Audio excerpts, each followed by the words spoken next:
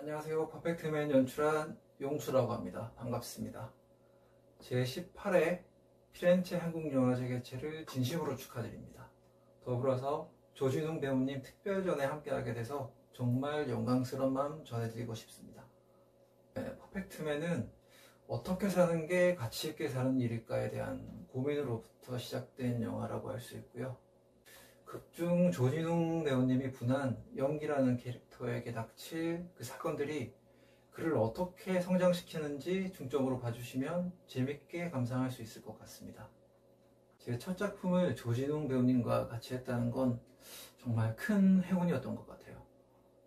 연출자와 배우의 사이를 떠나서 정말 친형처럼 정말 현장을 유쾌하게 재밌게 잘 이끌어 주셨던 것 같아요. 앞으로 더 좋은 작품에서 또다시 만나서 작업하게 되기를 빌겠습니다. 다들 어려운 시기 잘 이겨내시고요. 저도 좋은 작품으로 다시 여러분들과 만나 뵙길 기대하겠습니다. 네, 감사합니다.